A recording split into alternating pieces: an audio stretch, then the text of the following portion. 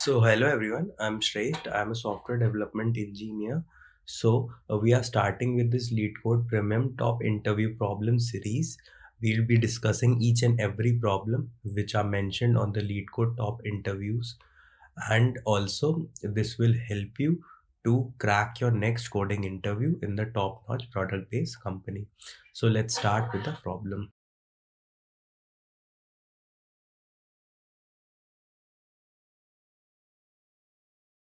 In this lecture we'll study about this problem. Uh, that is group anagrams it's a medium level problem on LeetCode okay and we'll see the use of sorting and hash map very beautifully. How we make use of the stl sort function and hash map in order to achieve our result. Okay so let's read the problem statement so it says we have been given a string strs, we need to group all the anagrams together. Anagram is a word that is formed by rearranging the same letter. Let's say uh, for tan, it, it is nat. Okay, so same letters are rearranged. That is an anagram and that we have to just uh, put it together and return in a form of a list. Okay, so uh, many strings are present. So let's say some string is BAT some string uh, let's say this is input BAT is given and TAB is given. Okay and let's say ABC is given and BCA is given. So these two are two anagrams and we need to list them together. BAC BCA uh, like this and we will return BAT and tab like this and we'll return our result. So it is very obvious that uh, how we will solve this. So it's we can just make use of sorting and just store our result in our hash map and we will be good. Okay so let's try to code this problem and it will be a very intuitive problem.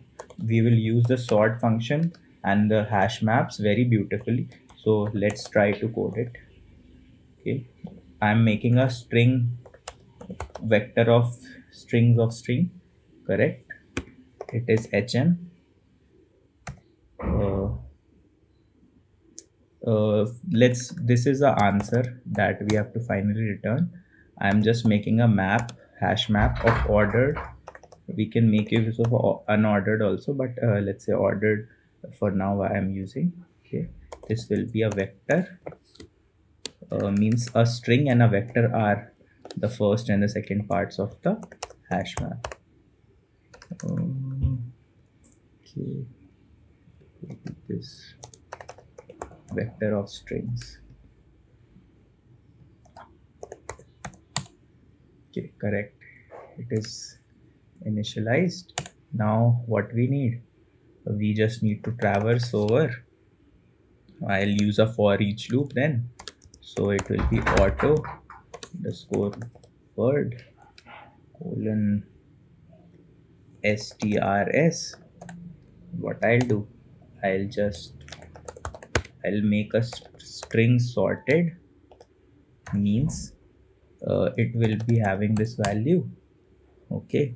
And i'll just sort it out sort sorted dot begin comma sorted dot and this is done.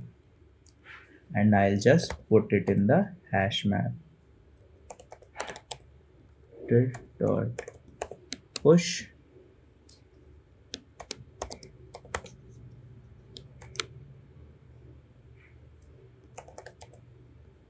world okay.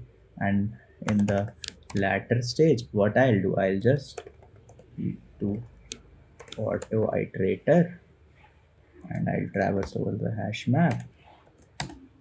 Simple. I'll do ans dot